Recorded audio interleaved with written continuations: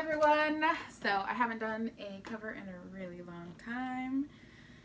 Um, but I thought that I would pay a little tribute to one of my, actually I think this is my first favorite Jonas Brothers song. And uh, in honor of us going to, my best friend and I, Janae, hi, um, we are going to see the Jonas Brothers live next month.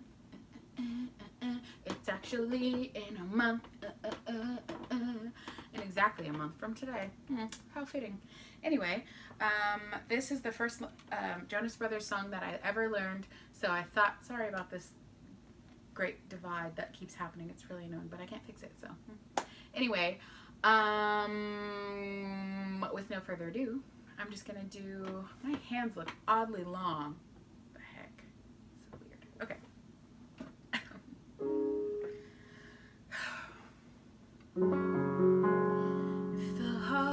dark.